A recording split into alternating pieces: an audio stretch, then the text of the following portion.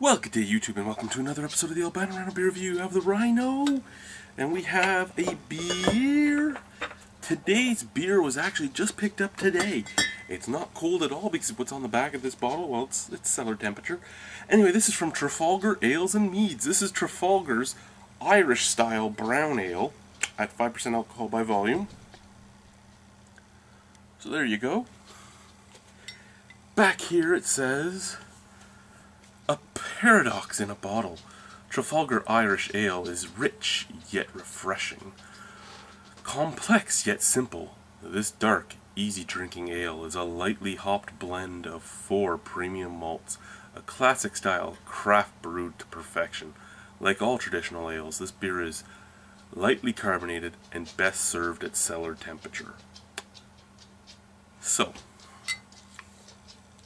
a paradox in a bottle.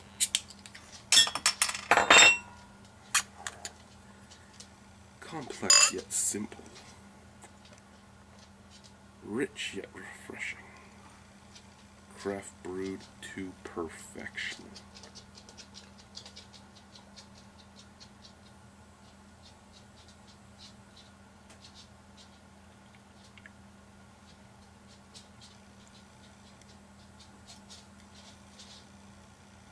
Now, I'll be honest with you on this one. Uh, you all know that Trafalgar Ales and Meads, not my favorite brewery out there. They do make some things that I enjoy, but not my favorite brewery out there. However, this is a brown ale, so I'm not expecting all that much out of it. So, if this lets me down, I'm going to be very sad. So, color. Color a nice deep brown color like it like it talks, like it advertises with a brown ale. It looks beautiful. Almost no head, but that's okay. That nice little line there just makes you remember that you have a beer in your glass.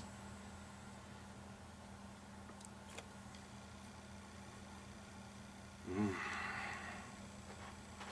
A nice caramel, malty, nutty scent coming off of there. A very subtle hoppiness on the nose as well. Beautiful smelling brown ale. I mean, all in all, out of the glass it comes off a little sweeter than it should be, but out of the bottle it is it is bang on exactly what I'd expect out of a brown ale. Uh, let's try it. Cheers.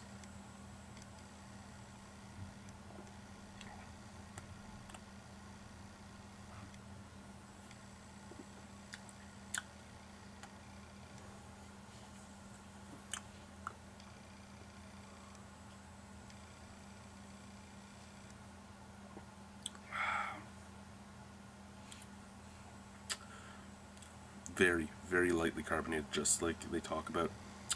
Very easy drinking. You could put this down very easily. Taste, inoffensive, uh, very malty. Uh, some caramel again, some nuttiness, almost almost like an almond taste. Uh, refreshing, just like they say. Your your hop bitterness is coming off kind of. Um,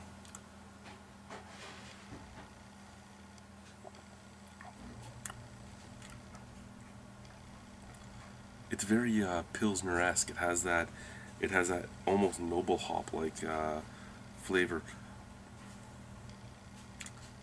Don't think that's what it is though, because it's not. It's not full-on grassy, but it's. It just reminds me of that. It gives me that type of vibe. Um, not a bad beer, in all honesty. Not a bad beer at all. Whenever I pick up a Trafalgar beer, I do I do get worried. Um,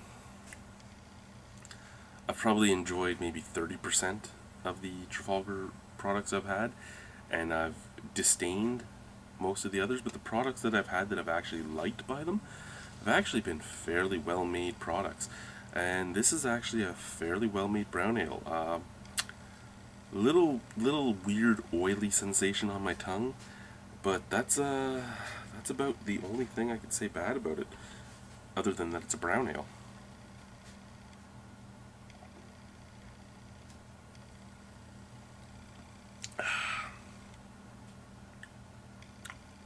Okay. I think if this was cold, if this was cold, I could probably just throw it back. I did just put too much of it down my throat at once, and it made me tear up. Um, yeah, I know how that sounded. Uh, if this was cold, you could probably just throw it back all night. You get a little bit of coffee bitterness on the background as well. Uh, almost almost like a black roasted coffee on your tongue with the hoppiness. It's a beautiful, beautiful roasty, toasty, caramelly brown ale. But again, it's still just a brown ale. It's nothing special. There's lots of brown ales out there like it. Excuse me. Um, not as good as the brown ale I had from Niagara College, which was basically spot on for exactly what is expected of a brown ale. But at the same time, much better than, say, Labatt Brown Ale or um, things like that. Uh, but and the Labatt Brown Ale is actually a good brown ale as well. I mean, it's properly done. But this is this is somewhere in the middle between those two. Uh, I would probably put this more on par with uh, Black Oak, Nut Brown. But I think I enjoy the Black Oak just a little bit more. It's more, it's it doesn't have that weird mouth feel. Uh, so out of 10 on this, I it's a pint bottle. It was under three dollars. It was something like two eighty-five, two ninety-five, somewhere in there. Um, maybe even two fifty. I don't fully remember the exact price, but um, I can't give it a bad mark. I have to say like a seven out of ten. I would buy this again.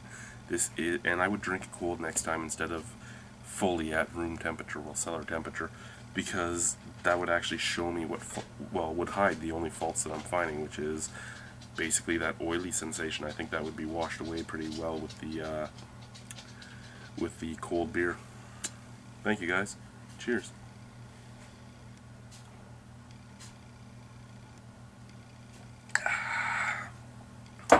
It is refreshing. Amazing. Amazing, Michael Arnold. Amazing.